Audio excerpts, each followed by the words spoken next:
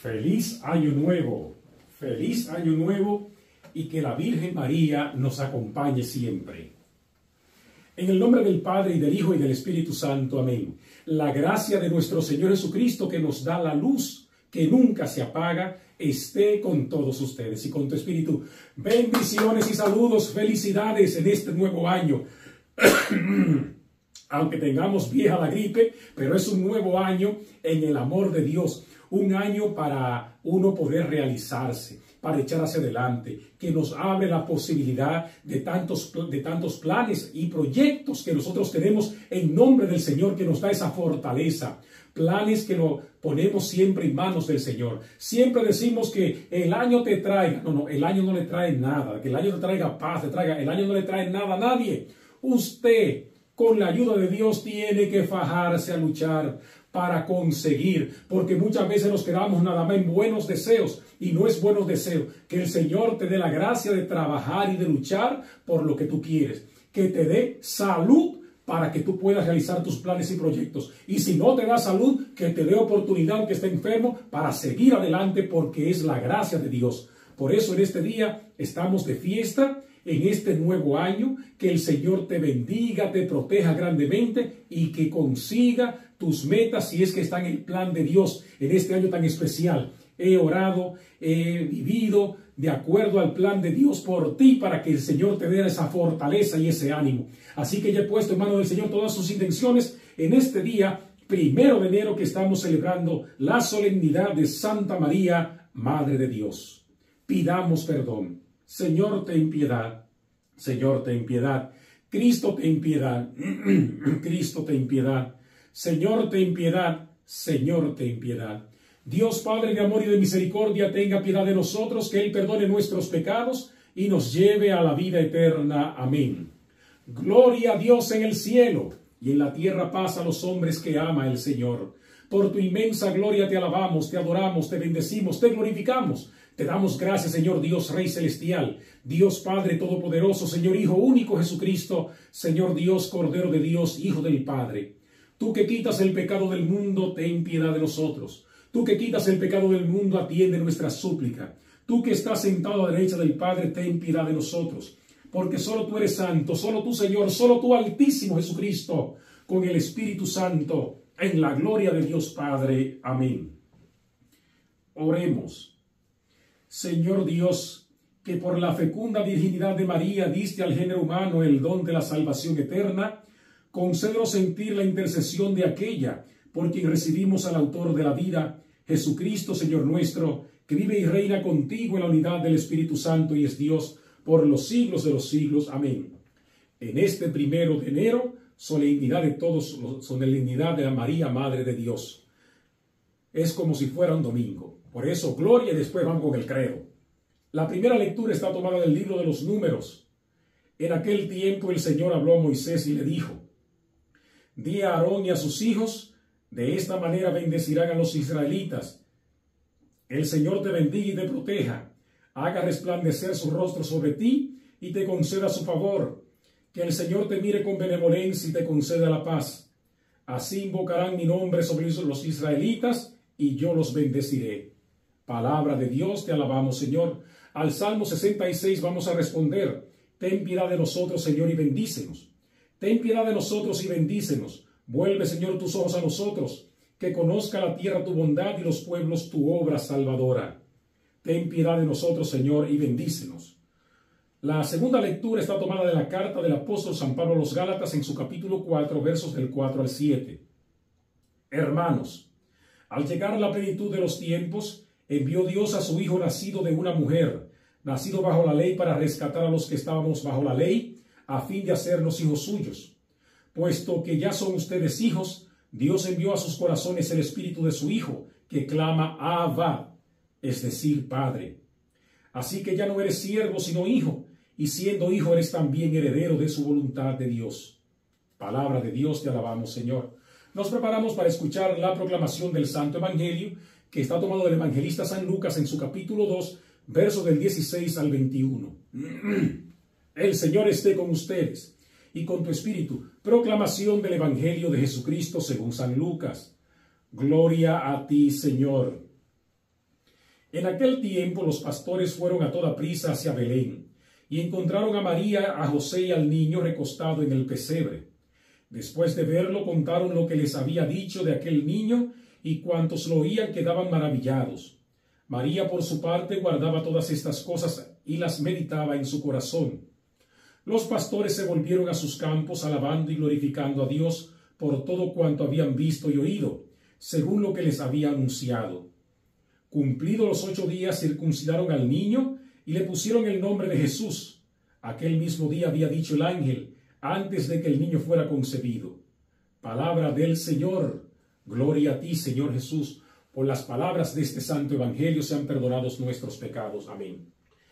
Litúrgicamente hablando, estamos en el tiempo de la Navidad, el tiempo más corto, el tiempo característico de que celebramos el nacimiento de Cristo, uno de los misterios más fundamentales de nuestra fe, que el Señor se haya hecho hombre, que lo divino se haya hecho humano, que lo infinito se haya hecho finito por amor a nosotros el misterio más grande, donde Dios interviene directamente en nuestra naturaleza, la perfecciona, la eleva y nos hace como dioses siempre y cuando tú y yo le abramos el corazón.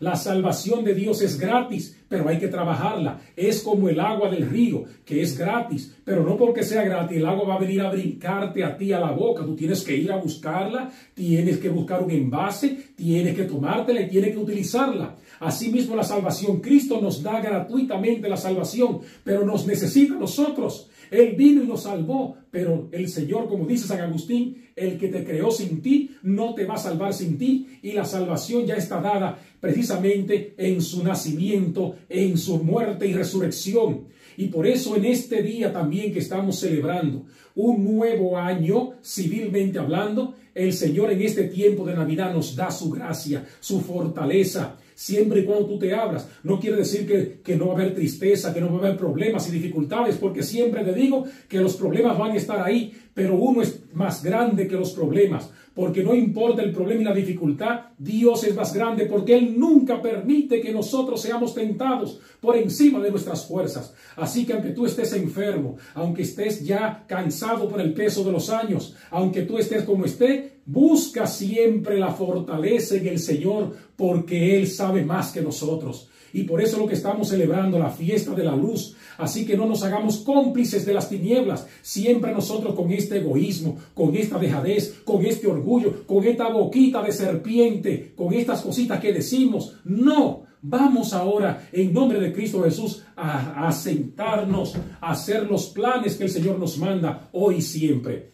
La Navidad está dividida en dos fiestas. El nacimiento de Cristo, que es manifestación de Dios al pueblo de Israel, a los pastores. Se canta el gloria. Los ángeles mismos cantaron el gloria que nosotros hacemos en la misa. Y se le manifestó a esos pastores. El 6 de enero, día de la Epifanía, que quiere decir manifestación de Dios a todos los pueblos, que nada más no fue solamente la Navidad para el pueblo de Israel, sino que hemos visto su estrella y hemos venido a adorarle. Usted ha visto la luz de Cristo, pues vamos entonces en nuestras vidas a adorarle con el cambio, siendo mejores hoy en este día.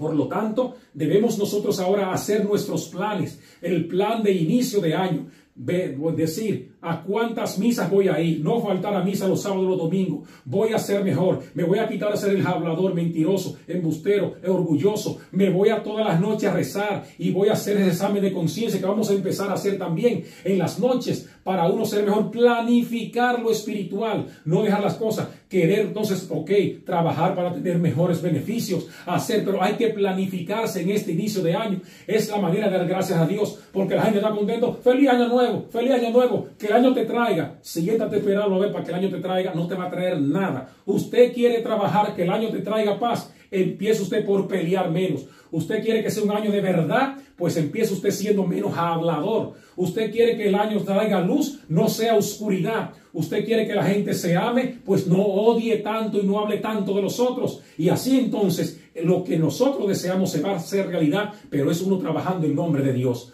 Pues muchas bendiciones, que Dios les acompañe siempre y nos dé la fortaleza a pesar de los problemas y dificultades para hacer de este año paso a paso y poco a poco en su nombre, yo, Cristo y yo, mayoría aplastante, echar hacia adelante y vencer el mal a fuerza de bien. Bendiciones Y ánimo, no nos muramos en la víspera. Ánimo, párese de ahí y agradezca al Señor.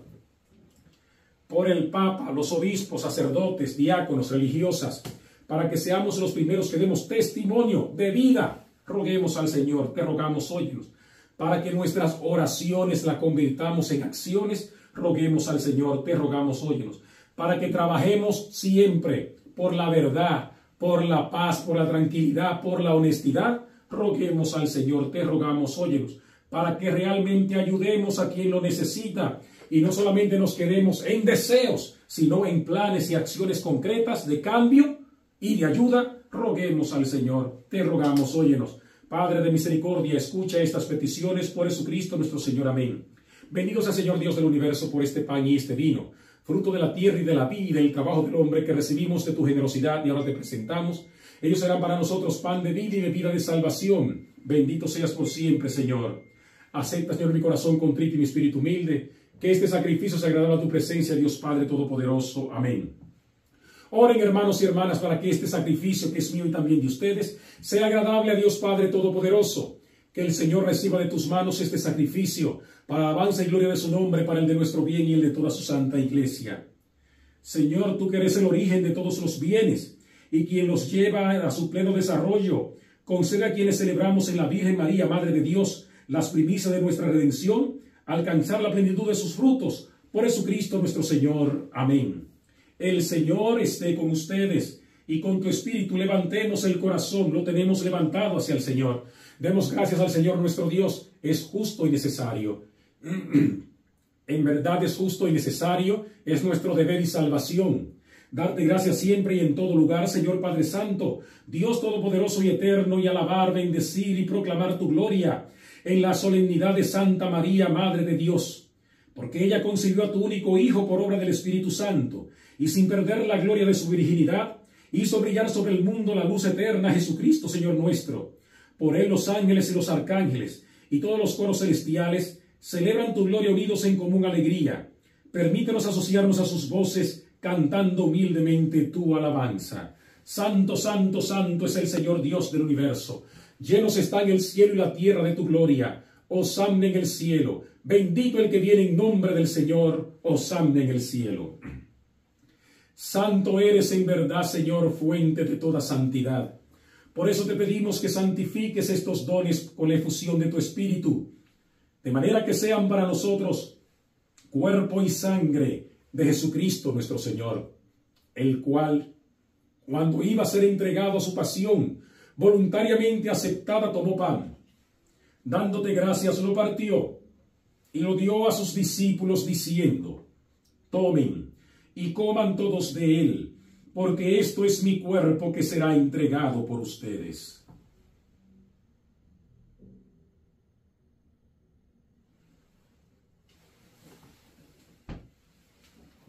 Del mismo modo, acabada la cena, tomó el cáliz, y dándote gracias de nuevo, lo pasó a sus discípulos, diciendo, Tomen y beban todos de él, porque este es el cáliz de mi sangre, sangre de la alianza nueva y eterna que será derramada por ustedes y por muchos para el perdón de los pecados. Hagan esto en conmemoración mía.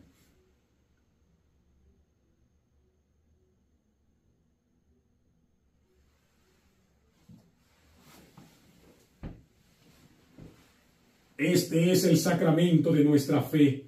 Anunciamos tu muerte, proclamamos tu resurrección. Ven, Señor Jesús. Así pues, Padre, al celebrar ahora el memorial de la muerte y resurrección de tu Hijo, te ofrecemos el pan de vida y el cáliz de salvación y te damos gracias, porque nos haces dignos de servirte en tu presencia. Te pedimos humildemente que el Espíritu Santo congregue en la unidad a cuantos participamos del cuerpo y sangre de Cristo. Acuérdate, Señor, de tu iglesia extendida por toda la tierra, y con el Papa Francisco, con nuestro obispo Rafael, y todos los pastores que cuidan de tu pueblo, llévala a su perfección por la caridad Acuérdate también, Señor, de nuestros hermanos que se durmieron en la esperanza de la resurrección, de nuestros familiares y amigos difuntos, por todos ellos que han muerto, y especialmente los que han fallecido el año pasado, para que el Señor los tenga en gloria. Y ten misericordia de todos nosotros, y así con María, la Virgen Madre de Dios, San José su esposo, los apóstoles y mártires, y cuantos vivieron en tu amistad a través de los tiempos, merezcamos por tu Hijo Jesucristo compartir la vida eterna y cantar tus alabanzas. Por Cristo, con Él y en Él, a ti Dios Padre Omnipotente, en la unidad del Espíritu Santo, todo honor y toda gloria, por los siglos de los siglos. Amén. Fieles a la recomendación del Salvador y siguiendo su divina enseñanza, nos alegramos en decir, Padre nuestro que estás en el cielo, santificado sea tu nombre, venga a nosotros tu reino, hágase tu voluntad en la tierra como en el cielo. Danos hoy nuestro pan de cada día, perdona nuestras ofensas, como también nosotros perdonamos a los que nos ofenden. No nos dejes caer en la tentación y líbranos del mal. Líbranos, Señor, de todos los males y concédenos la paz en nuestros días, para que, ayudados por tu misericordia, vivamos siempre libres de pecado y protegidos de toda perturbación, mientras esperamos la gloriosa venida de nuestro Salvador Jesucristo. Tuyo es el reino, tuyo es el poder y la gloria por siempre, Señor. Señor Jesucristo, que dijiste a tus apóstoles, mi paz les dejo, mi paz les doy. No tengas en cuenta nuestros pecados, sino la fe de tu iglesia. Y conforme a tu palabra, concédenos la paz y la unidad. Tú que vives y reinas por los siglos de los siglos. Amén. La paz del Señor esté siempre con ustedes y con tu espíritu. En el amor de Cristo nos damos la paz, esa paz que sana, que salva, que transforma, la paz del Señor. Cordero de Dios que quitas el pecado del mundo, ten piedad de nosotros. Cordero de Dios que quitas el pecado del mundo, ten piedad de nosotros. Cordero de Dios que quitas el pecado del mundo, danos la paz. He aquí a Jesucristo el Señor, el Cordero de Dios, el Hijo de María. Dichosos los invitados a la cena del Señor. Señor, no soy digno de que entres en mi casa, pero una palabra tuya bastará para sanarme. Cuerpo y sangre de Cristo nos guarden para la vida eterna. Amén. Oración de comunión espiritual. Oh mi Jesús, Señor y Redentor, creo firmemente que estás presente en el santísimo sacramento del altar. Y hoy no pudiendo comulgar contigo sacramentalmente, pido, Señor, comulgar contigo espiritualmente, para fortaleza de mi espíritu, salvación de mi alma y bienestar de mi familia. Por Jesucristo nuestro Señor. Amén. Cuerpo y sangre de Cristo. Amén.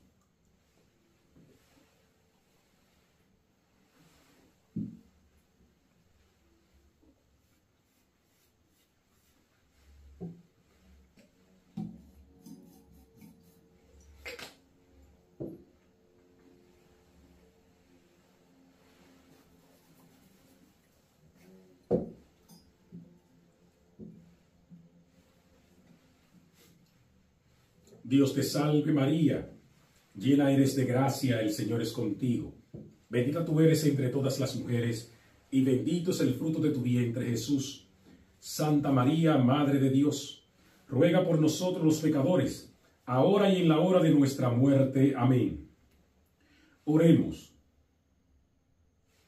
Señor, que estos sacramentos celestiales que hemos recibido con alegría sean fuente de vida eterna para nosotros, que nos gloriamos de proclamar a la siempre Virgen María como Madre de tu Hijo y Madre de la Iglesia. Por Jesucristo nuestro Señor. Amén. Tenemos nosotros en la Iglesia lo que llamamos revelación pública y revelación privada.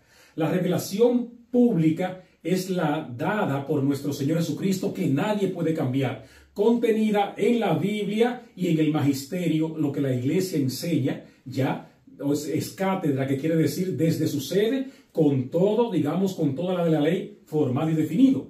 Entonces, revelación privada son todas las revelaciones que entran de los sueños, visiones, apariciones, eh, opiniones, todo lo que la iglesia hace como sacramentales, las bendiciones y todas esas cosas. Entonces, lo que contiene el núcleo de la fe, nosotros lo celebramos en la liturgia. Por ejemplo, ¿qué es lo que contiene la doctrina de la iglesia en cuanto a la Virgen María? cuatro cosas nada más, cuatro cosas. Miren cuáles son. Primero de enero, María, Madre de Dios. María es Madre de Dios. 14, 26 de marzo, tenemos la Anunciación, que es lo que se celebra. Tenemos después 15 de agosto, tenemos la Asunción y 8 de diciembre, la Inmaculada Concepción. Esos son los cuatro grandes dogmas de la Virgen María ya revelados y directos. Después todo lo otro es revelación, digamos, así mismo, también privada. O sea, por ejemplo, todas las advocaciones de la Virgen, que la de Mercedes, que la de Guadalupe, que la de Chiquinquirá, que la del Cisne, que la de Luján, que la del Pilar, todo eso, que yo tuve un sueño, una visión, que un, un visionario tuvo esto y esto, esas son revelaciones privadas y no son esenciales para nuestra salvación. O sea que tenemos que debemos creer precisamente hoy como María, Madre de Dios, la encarnación del Hijo de Dios, o sea, María, María, que, María que recibe a Jesucristo, la asunción de María y la Inmaculada Concepción son los cuatro dogmas marianos directos. Y hoy estamos celebrando y bajo el amparo de María, Madre de Dios, nos acogemos hoy y siempre para que ella siga intercediendo ante nosotros y ante tu familia, ante tu persona, ante mi familia y ante todas nuestras personas que María sigue intercediendo en este día y siempre, que consagramos este año y nuestro hogar ahora a María, Madre de Dios, abriendo este año. Qué grande eres María, que siempre la gloria la da a Dios, a tu Hijo Jesucristo, y por eso nos acogemos también a tus oraciones, a tu protección y a tu amparo. Que Dios les bendiga en este nuevo año para seguir trabajando con fuerzas y recuerden a planificar. Lo que no se planifica en el Señor no se cumple. Así que no solamente se siente, Señor, yo voy a hacer esto de boca, siéntese a escribir y a planificar en el Señor y le voy a enseñar después cómo. Bendiciones, ánimo y que Dios le acompañe siempre. El Señor esté con ustedes y con tu espíritu. La bendición de Dios Todopoderoso, Padre, Hijo y Espíritu Santo, descienda sobre ti, descienda sobre tu familia, descienda sobre tus bienes y permanezca para siempre. Amén. En la alegría del Señor de haber iniciado y dar gracias a Dios por este nuevo año, podemos ir en paz. Demos gracias a Dios a celebrar, pero sobre todo a planificar, a trabajar, a luchar y a cambiar. Dios nos ha dado esta oportunidad, no la desperdiciemos. Bendiciones.